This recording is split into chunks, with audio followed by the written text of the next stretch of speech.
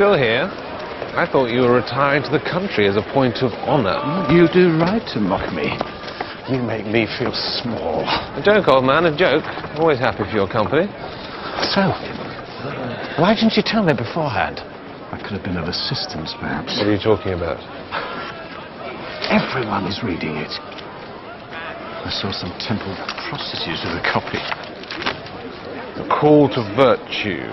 The writing is adequate, which is something we should talk about, but the sentiments are full of grace and bravery. Sons of the Republic, the blood of our forefathers calls you to honour the memory and emulate the deeds of Porcius Cato, the last true Roman. Who wrote this? You did.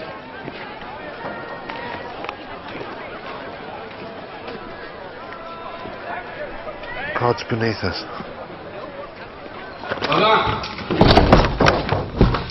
Mother, have you seen this? This lunacy? Of course I've seen it. It's not lunacy. It is a cogent defense of Republican principles against the forces of tyranny. I am rather proud of it. You wrote this? In my name? Uh, Cassius contributed several nice turns of phrase.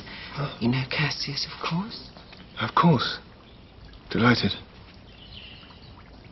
Quintus? It's lovely to see you again. It's been too long. Indeed. You will excuse me if I speak with my mother privately.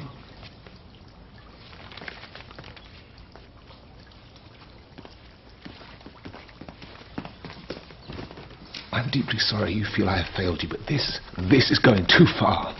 My name is not yours to be used. You haven't failed me. You can't fail me. I'm your mother. You have failed the Republic. Dear gods. Bring me pen and paper. This is bad enough. that You keep that little madman Quintus in this house, but this, this.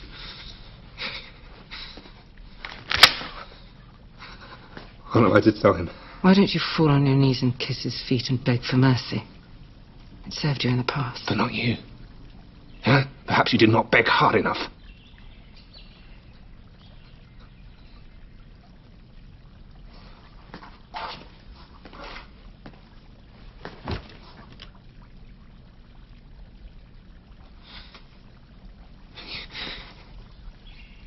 You do understand.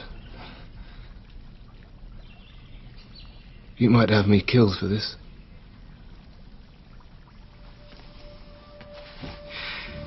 Rome has fallen into the hands of a corrupt monster.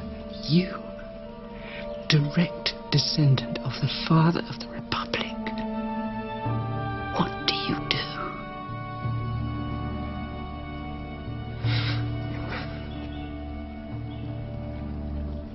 What would you have me do? What would your father have done? What would his father have done? Would they bend their knees to a tyrant?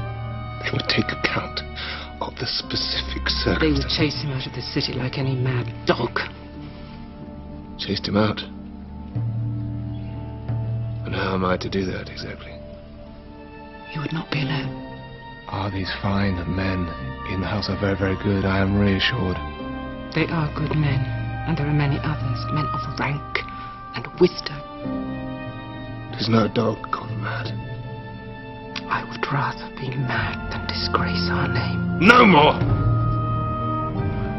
You send your fool henchman away and forget his insanity.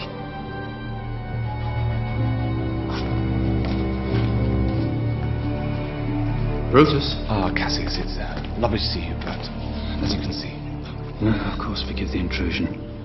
Uh, perhaps I may visit another time. Good, certainly.